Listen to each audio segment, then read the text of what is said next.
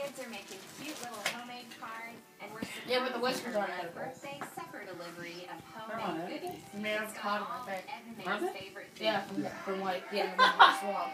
Welcome to my frontier. Give it to JB. I bet she'll eat it, thinking it's some kind of like cotton candy. one of our favorite people. She's out with Oh, I think it's just enough. Diane. They're having fun together. Now, Ed He's they boss, look. Hey guys, we're gonna these people.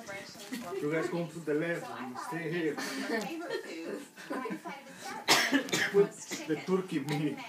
Roast chicken. It's one of those things that can stay Baby, for a couple days. Take a doesn't have to picture and say the turkey meeting. But I don't make a lot of roast chicken. Come here, because look. I live among all these cattle ranchers, This so is the I plane gotta guys. do the We'll be perfect Rob thing. Walmart, okay? All right, I just rinsed the Watch for chicken and JB. had it dry. Wanna pack JB, now okay? I'll move on to the flavoring. I'm gonna Get zest the a couple money of lemons. And run. I love roasted chicken with So lemon. everybody's gonna It's go one of to my one, favorite uh, cash- combinations. Cash You know, register. Ella May and I share a love of a lot of the same foods. We both love soup. We both love roast chicken. We both love cake, of course. So it was really Start easy coming for and me see to you. figure out the menu to deliver to her. hey, where's the All right, whoppers? that's about two lemons zested. Oh. Now I've got some rosemary sprigs, and I'm just going to strip off some leaves. I think Mommy, I'll I just need need to do this. sprig. I'm going to chop up the rosemary. I love rosemary and lemon together.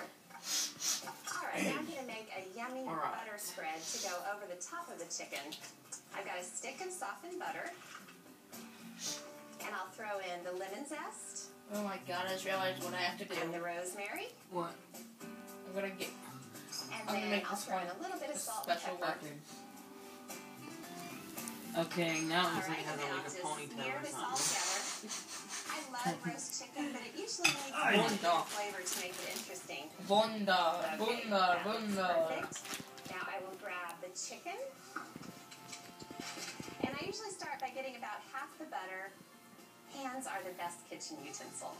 That's what my mama always told me.